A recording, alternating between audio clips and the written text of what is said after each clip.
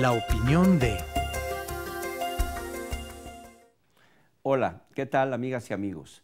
En el Partido Revolucionario Institucional en Jalisco nos sumamos a los esfuerzos de austeridad planteados por el titular del Poder Ejecutivo del Estado, así como a las medidas anunciadas por el propio gobernador, especialmente en lo que tiene que ver con la eliminación del financiamiento público a partidos políticos en años no electorales y a la creación del Fondo de Contingencia Económica Familiar. Hoy,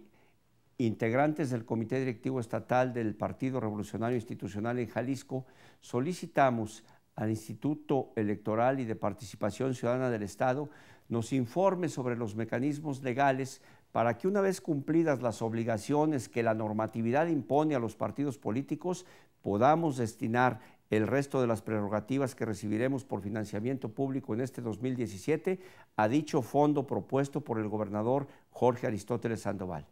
De este modo, también invitamos a los dirigentes de todos los partidos políticos a que se adhieran a la propuesta de eliminar el financiamiento público en años no electorales y pasen del discurso de indignación a los hechos concretos, aprobando la iniciativa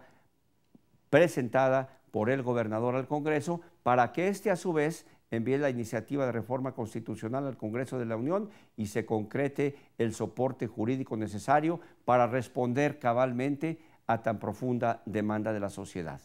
Esperamos que los procesos legislativos que se requieren para dejar de obtener dicho financiamiento se realicen a la brevedad y desde luego se eliminen las trabas que hoy tienen las organizaciones políticas para la obtención de recursos de procedencia lícita. Muchas gracias por su atención.